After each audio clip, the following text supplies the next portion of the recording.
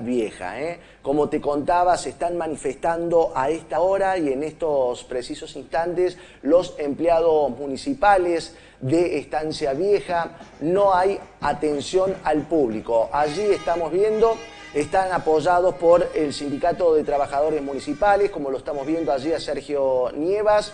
Eh, el secretario general del STM, que nuclea a los empleados municipales no solamente de Carlos Paz, sino también de Estancia Vieja, de San Antonio de Redondo, de Hicho Cruz. Pero bueno, esto ocurre en este momento en las puertas allí de la comuna de Estancia Vieja. Están pidiendo al jefe comunal, Adolfo Paricia, un incremento salarial. Están reclamando el aumento de sueldos. El sueldo básico allí es de 52 mil pesos. Están pidiendo, eh, mensual, eh, 52 mil pesos por mes. Están pidiendo un incremento, una respuesta. Por el momento eh, sí se ha abierto el diálogo. El intendente les dijo que la situación económica no está para dar ningún incremento en este momento.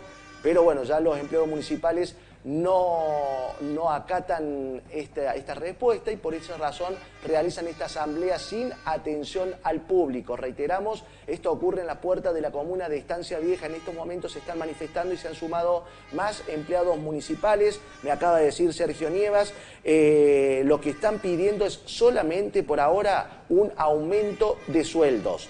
No es otro, el requerimiento es un una respuesta por parte de Adolfo Paricia que les diga que le puede dar un incremento salarial, aunque sea escalonado, a partir del mes de octubre. Eso están reclamando los empleados municipales que están teniendo un sueldo hoy de 50 mil pesos hasta el más alto, me decía Sergio Nievas, que está alrededor de 90 mil pesos mensuales. Está el Sindicato de Trabajadores Municipales apoyando esta medida de fuerza, esta asamblea.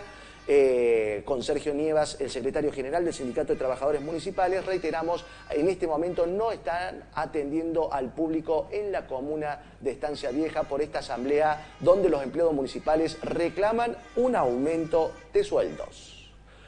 11 de la mañana, 25 minutos. Momento de buscar la primer pausa y en un ratito vamos a ponernos en contacto con Marcelo Madelón, nuestro meteorólogo.